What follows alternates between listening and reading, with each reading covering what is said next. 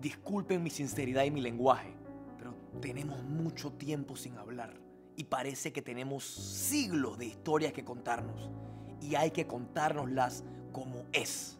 Estoy a punto de meternos en un viaje en el tiempo que nos va a hacer darnos cuenta que nuestra historia es mucho más pretty que cualquier serie de Netflix. Que hay cosas que los panameños estamos haciendo bien mal.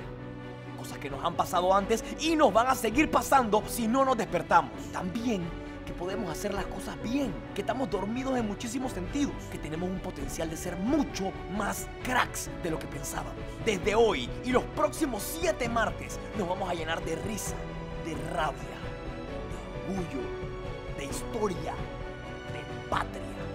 Abre tu pinta que lo que viene hoy es un parking histórico.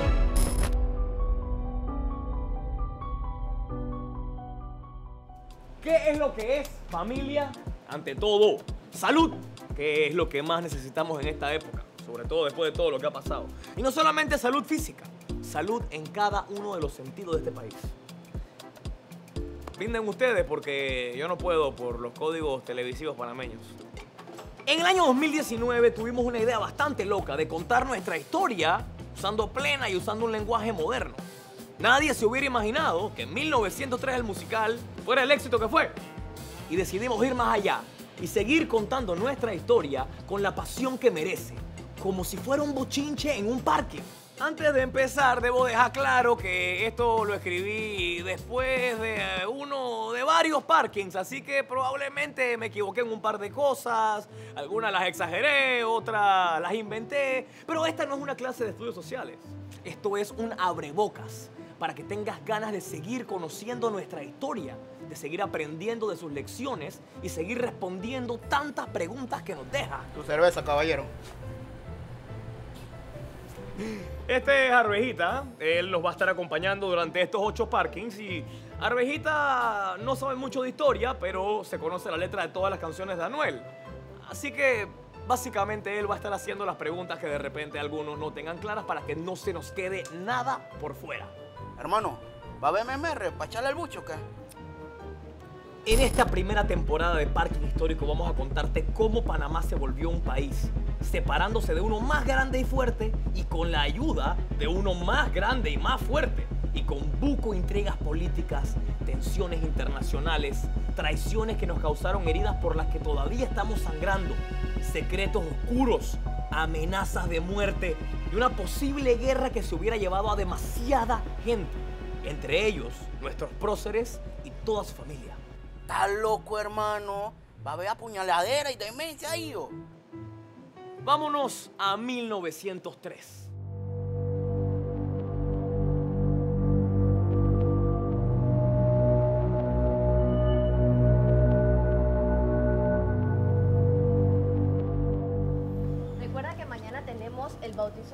Por favor. ¿Y a qué hora Tengo hambre. Como a las 4. Por favor. 1903. Un año en el que Panamá estaba hasta la guacha. Y digo, no es que estemos muy bien todavía, pero en ese momento veníamos de pelear la guerra de los mil días que se libró entre los dos partidos políticos del momento. ¿Que eran cuáles, Arvejita? Ya, ¿cómo así, hermano? Yo no era el que preguntaba. Eh, PRD, RM. Ah, ya sé. Papá de Goró. Los conservadores, que eran los que estaban en el poder en ese año, y los liberales, que eran la oposición. Nosotros no teníamos mucho que ver en esa guerra, pero aquí en Panamá se libraron de las peores batallas. ¿Estás loco, hermano? En Panamá hubo war. Ahí estaba Dienja o qué. No estaba exactamente de Yamán, Arvejita, pero sí había un buen par de manes rudos, como Belisario Porras. ¡Vamos, muchachos! ¡Que si seguimos avanzando, tomaremos la capital! ¡Con ardiente fulgores de gloria! Victoriano Lorenzo. ¡La pelea es peleando!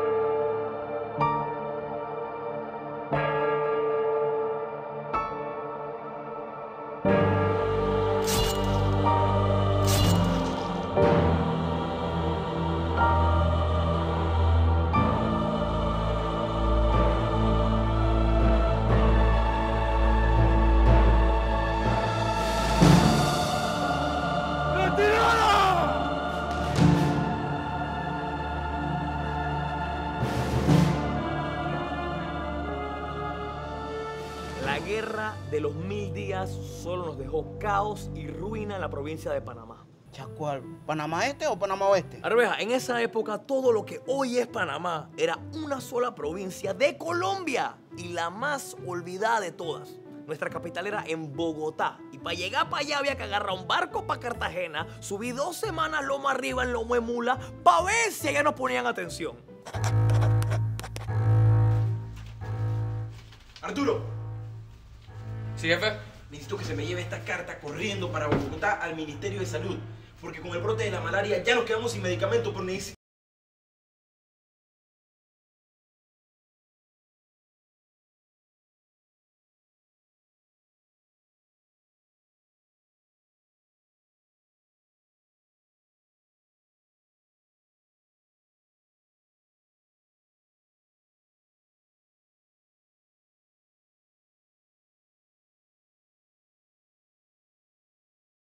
no nos ponían atención, excepto a la plata que dejaba lo bueno de nuestra posición geográfica. Y en ese momento teníamos un ferrocarril que exportaba rantan mercancías, sobre todo después de que en California encontraron oro y salió la famosa fiebre del oro.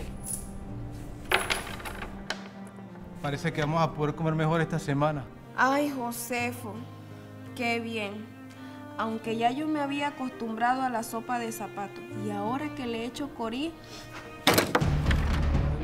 ¡No ¡Ey! ¡Churrias! A entregar la contribución del gobierno colombiano. Porque estamos en guerra y hay que pagar los gastos. Y se me abren de este parche porque 12 en reunión es conspiración.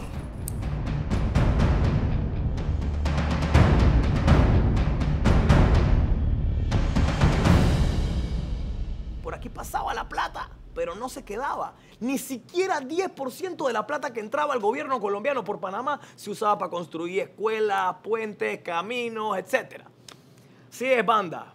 El mal uso de nuestros impuestos en Panamá es lamentablemente histórico. Pero había una esperanza. Los franceses van a construir un canal en Panamá. ¡Eh! Eso, ¡Qué buena excelente. noticia! Pero se cayó. La compañía francesa cayó en bancarrota. ¡Ah, ya la vida! ¿Qué eso pasó a sí. franceses? Pero luego vino otra esperanza. Los gringos están interesados en retomar el canal por Panamá. ¡Qué buena Excelente. noticia! Que también se cayó. El Senado gringo prefiere la ruta por Nicaragua. No, hombre, viejo. ¿Qué? No puede ser si todo iba bien. Y luego vino otra esperanza. Alguien convenció al Senado para votar por hacer el canal en Panamá. Juega en vivo con el nombre de esta persona que más adelante vamos a decir quién es. Cha, pero no me dejes con intriga. Es mano. importante, pero deja que haya suspenso en la historia. Se los dije, ahora sí, carajo. Aguante, aguante. Dice que el Congreso colombiano lo va a rechazar. ¿Cómo no, así? Esos colombianos están en panga. Vida, Después de 25 años con una esperanza que iba y venía e iba y venía, iba a ser nuestro propio gobierno colombiano el que nos iba a quitar la única solución a nuestros problemas. El canal que nos iba a traer progreso, billete, turismo y casi todo lo que hoy en día somos. Y nos íbamos a dejar. No, compadre. Y ahí es que entra en acción el papá del movimiento separatista de Panamá.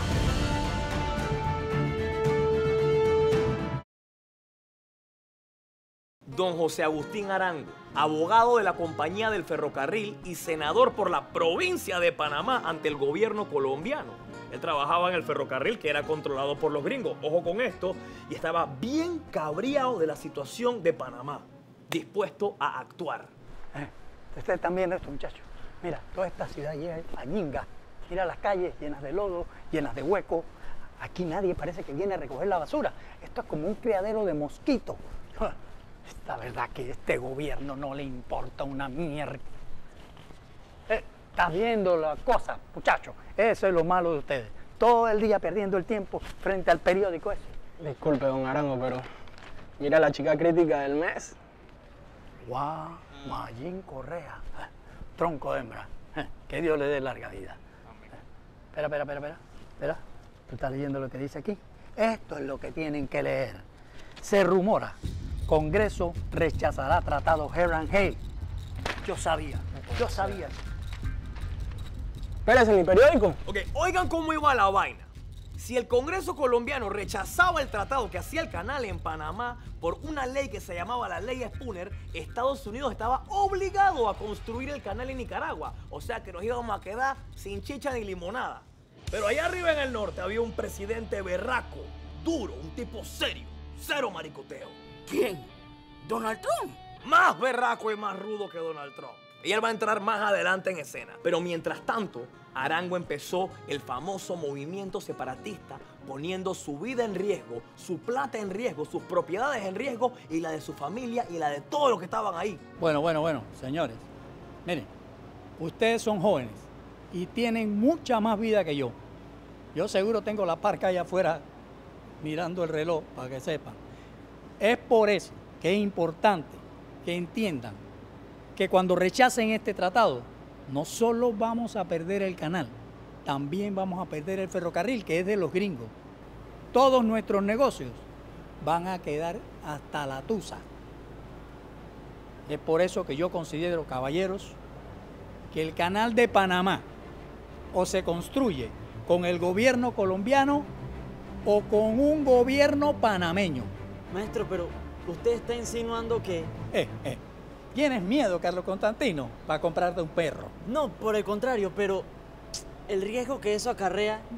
Yo estoy claro, pero nuestra libertad amerita ese riesgo y más. Es por eso que estoy incluyendo a mis propios hijos y a mi yerno, aunque ellos qué carajo. mentira, mentira, estoy vacilando. Sí, pero uno, todos aquí somos yeyecitos y dos, mí todos son conservadores. Sí, sí, sí, Arosemena. Yo entiendo que nuestros partidos vienen de darse bala, pero esto va más allá de una bandera de, de un partido. Es momento de unirnos, reconstruir y reparar todo aquello que hemos destruido estando divididos. Eh, mira tú, yo te traje aquí, a pesar de que tú eres un liberal. Digamos que esto era como reunir a un panameñista con un RM. Focot. Está bien, maestro. Entonces ya mismo llaman Pedro y Domingo Díaz. Ellos conocen Hey, al pelado, pueblo. pelado, cálmate, cálmate. Pareciera que tuvieras a Riera en el calzoncillo. Esto hay que hacerlo bien. De esto depende nuestras vidas. De esto depende nuestro país. Lo que hay que... ¡Coño! ¿Qué les dije? Que apagaran ese aparato de cablegrama antes de entrar. O pónganlo en silencio. Qué falta de respeto. qué Disculpa, cosa. maestro. Es el mío. Ya vuelvo a pagarlo. Estos centennial son increíbles. Maestro. Acaban de condenar a muerte a Victoriano Lorenzo. Lo van a fusilar en el cuartel de Chiriquí.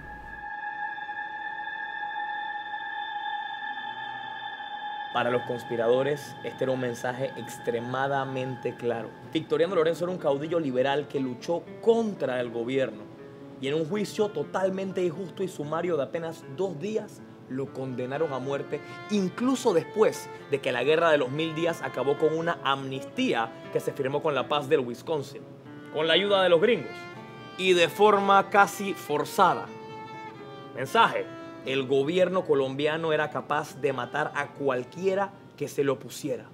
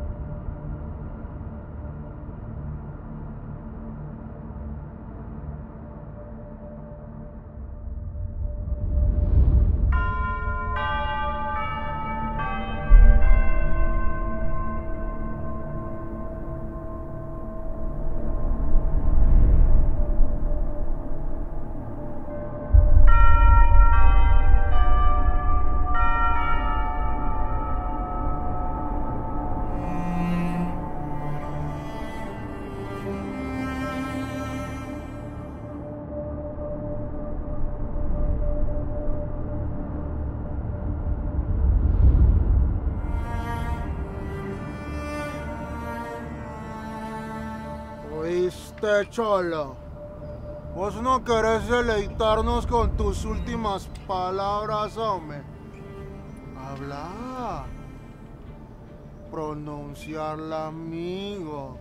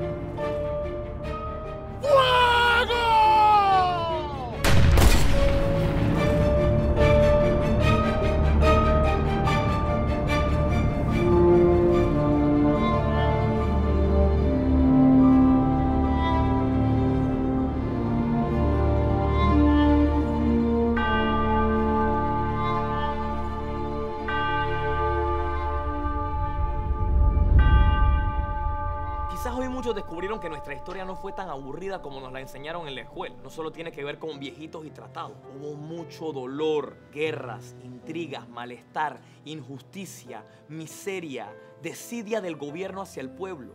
Y un pueblo que empezó a hartarse hasta tener que buscar la solución en sus propias manos. ¿Qué tan lejos estamos de esto en la actualidad? ¿Cuántas gotas más aguanta el vaso de nuestra paciencia?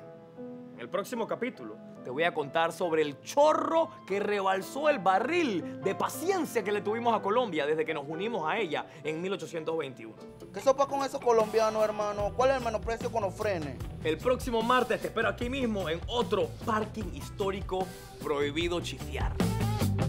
1903, un año en el que Panamá estaba hasta la guacha. Pero aquí en Panamá se libraron de las peores batallas. En esa época todo lo que hoy es Panamá era una sola provincia de Colombia y la más olvidada de todas. Pero mientras tanto, Arango empezó el famoso movimiento separatista Acaban de condenar a muerte a Victoriano Lorenzo. Para los conspiradores, este era un mensaje extremadamente claro. El gobierno colombiano era capaz de matar a cualquiera que se lo pusiera. What the fuck is this? Hey! Se puede. Esa es la pregunta. Si se puede. Con ese tejemeneje se le está formando un caos en el istmo. Es hora de actuar, Manuelito. Únete a la causa. Panamá se va a separar de Colombia. Tenemos que armar un equipo clave. Ese tratado puede ser el más grande logro de Colombia o el mayor de sus arrepentimientos. No digas que no se lo advertí.